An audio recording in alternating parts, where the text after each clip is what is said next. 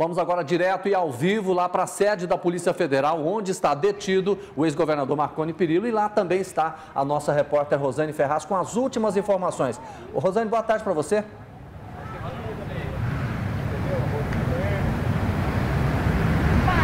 Boa tarde, Jordevá. Então já são 24 horas desde que o ex-governador e ex-senador Marconi Perillo deu entrada aqui na sede da Polícia Federal e em seguida recebeu voz de prisão. Há pouco, o assessor de imprensa da Polícia Federal veio aqui, conversou com jornalistas, é, não deu muito detalhes, mas disse que as visitas para o ex-governador estão liberadas, apesar do prédio hoje estar fechado, inclusive suspenso o atendimento ao público por causa de uma dedetização.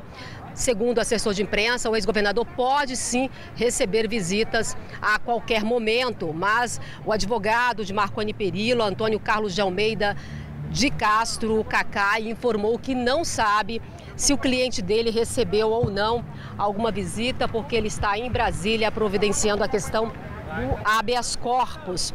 Ele disse que Marconi está realmente em uma sala especial aqui da Polícia Federal. A assessoria não informou como é essa sala, se tem cama, se tem banheiro, se o ex-governador passou a noite né, descansando em um sofá ou uma, uma cama. Esses detalhes aí não foram revelados pela assessoria de imprensa, mas ainda hoje nós vamos continuar repercutindo a prisão do ex-governador, como vocês percebem, buzinaço aqui na porta a todo instante. As pessoas continuam passando aqui em frente à sede da Polícia Federal, comemorando aí a prisão do ex-governador. Daqui a pouco a gente continua falando mais, inclusive sobre. É a posição da defesa, Marconi Perillo pode ou não ser solto hoje, o habeas corpus deve ou não ser julgado, será que ele pode ser beneficiado por um liminar? Pois é, daqui a pouco eu volto com mais informações. E até logo mais, Rosane, por enquanto, muito obrigada pela sua participação.